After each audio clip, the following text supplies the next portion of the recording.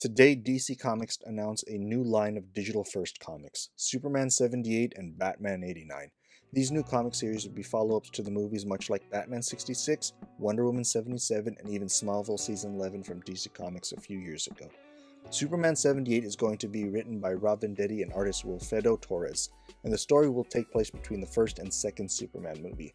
The official synopsis for the title is In Superman 78, bystanders are surprised and delighted by Superman's abilities, and Lois Lane doesn't yet know that Clark Kent is secretly Superman. The sheer thrill of seeing a man fly, leap, or stop a bullet will be reflected in this environment where Superman has just been introduced.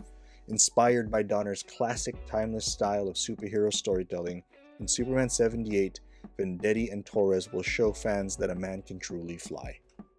Meanwhile, Batman 89 is going to be from one of the co-writers of the Batman 89 and Batman Returns film, Sam Hamm, and will be illustrated by Joe Quinones.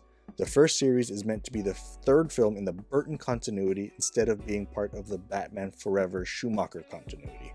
These series will be available digitally on July 27th. The print version will be released in August with a collected hardcover, in October for Bats, and November for Supes. And of course, there is still talk of Keaton appearing in the upcoming Flash film.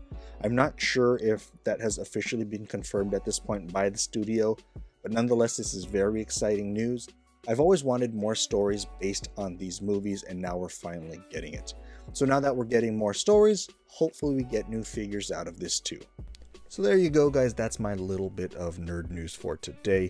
Let me know in the comments what you guys think. Are you as excited for Superman 78 and Batman 89 as I am? What characters do you hope appear in these comics and what figures do you hope we get based on these films and comics technically now?